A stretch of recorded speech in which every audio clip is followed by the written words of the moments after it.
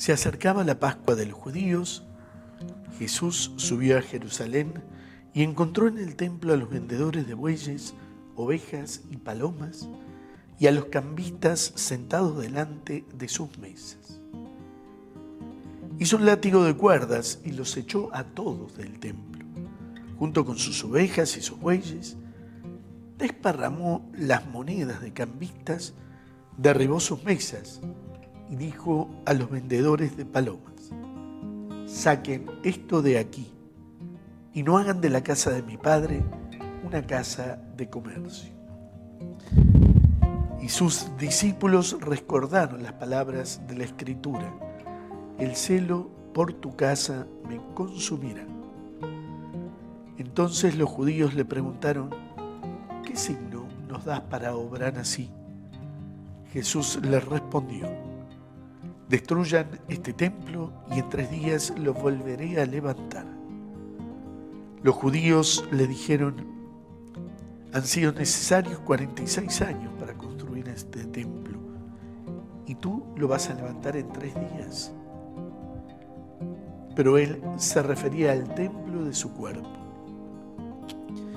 Por eso, cuando Jesús resucitó, sus discípulos recordaron que él había dicho esto creyeron en la escritura y en la palabra que había pronunciado.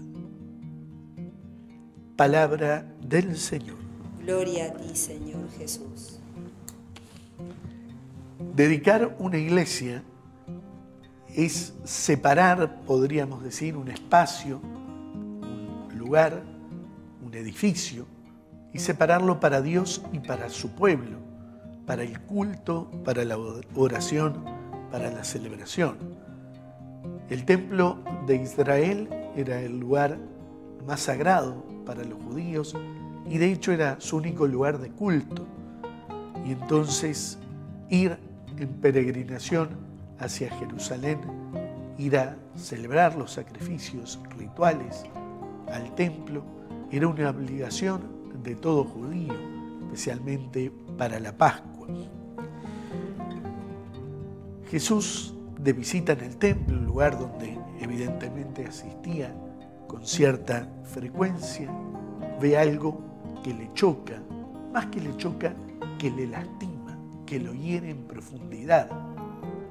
Y es ver cómo se ha hecho de una casa de oración, de un lugar sagrado, un comercio, un lugar donde se trafica de distintas maneras y no se respeta no solo el lugar como tal, sino a las personas que allí asisten, que son en definitiva las más valiosas.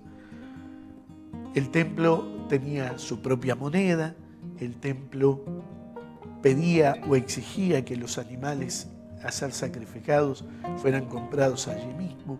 Y bueno, todo eso generaba esa mercancía ese comercio indebido e impropio de un acto religioso. Por eso Jesús arde, podríamos decir en términos nuestros, de rabia.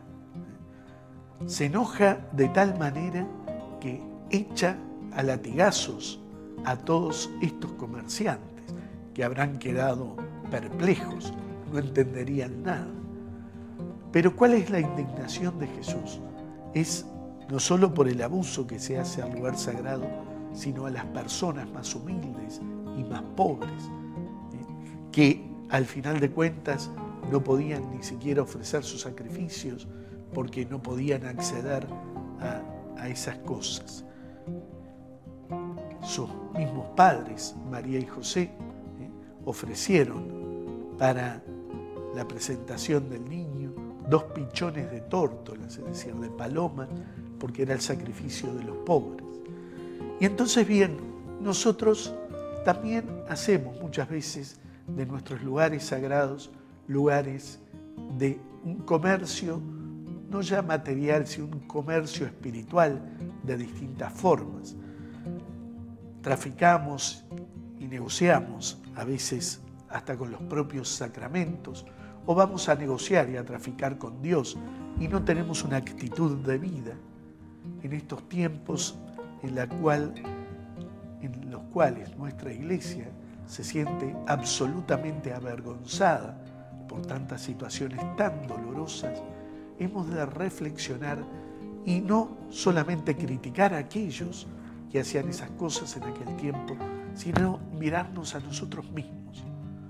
¿Cómo estamos nosotros aplicando nuestra vida religiosa?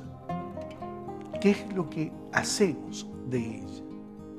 ¿Hacemos un mero culto artificial o nos encontramos profundamente con el Señor?